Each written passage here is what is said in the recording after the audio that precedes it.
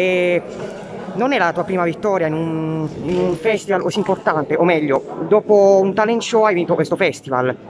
Sì, che è un po' all'opposto, quindi mi ero detto che questo sarebbe stato il, il, mio ultimo, il, mio ultimo, concorso per questo motivo, perché era all'opposto di, del talent televisivo, dello show business, diciamo, quindi ho, per me questa è una soddisfazione, ma diventa una doppia soddisfazione. Spero eh, di utilizzarla eh, per, per fare quello che voglio fare da anni, ritagliarmi la mia nicchia e fare la mia musica.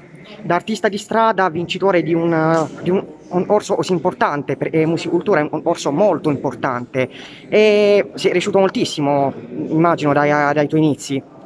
Sì, sono cresciuto tanto, ma in realtà poi alla fine quello che riesci a conservare che ti, che ti salva, non è tanto quello che poi apprendi anche quello che apprendi certamente, però se, se la purezza che riesci a conservare dall'inizio, perché quando inizi a suonare sei molto meno contaminato in realtà.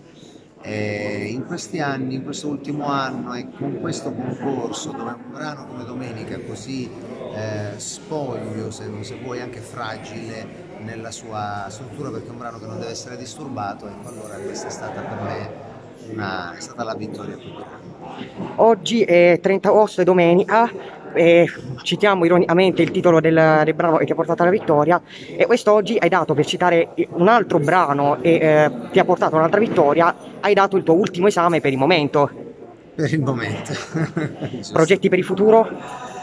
Eh, ripeto mi piacerebbe, mi piacerebbe impostare un po' di di tournée a teatro, quello mi piacerebbe perché la formazione si presta, i ragazzi sono fantastici eh, ed è un ambiente nel quale io sento di dare il massimo.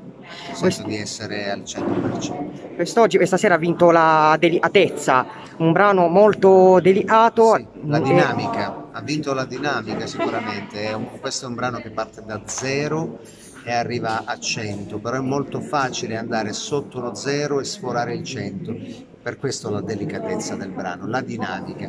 I miei musicisti in questo sono stati, sono stati fantastici, Enrico Dolcetto, Giacomo Serra, Manuel Goretti sono stati impeccabili. Questo per certi versi è un, è un altro ragazzo, è stato ospite ieri sera, è Salvador Sobral, vincitore dell'Eurovision, e lui con una canzone molto delicata è riuscito a vincere un concorso in cui in genere regna la, la potenza, la musica e i fuochi d'artificio. Eh sì, perché la musica è tutto, sia potenza sia delicatezza, quindi a volte vince la potenza, a volte la delicatezza. Ti faccio tanti complimenti, tanti auguri ancora per il tuo futuro e ti ringrazio. Grazie a voi.